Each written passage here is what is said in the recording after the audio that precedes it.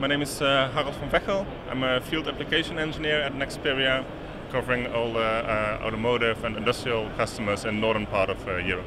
So the demos we have is a mirror control demo controlled by our power MOSFETs, a large fan demo also controlled by a MOSFET, and a headlight demo controlled by MOSFETs, uh, Schottky diodes, uh, TVS bars, all around the DC buck and boost converters.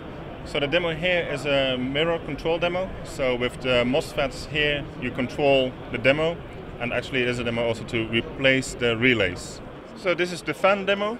So we control the large fan at the bottom by these two circuits. So first we have here the D square pack. It's uh, the older package, which needs a very large cooling area.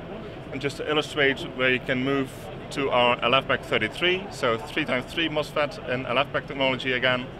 So this is a complete circuit driving this, this nice headlight. So we have here a, a four-phase boost converter. You have two three-phase buck converters. Every voltage rail controls then one string of LEDs or one large LED.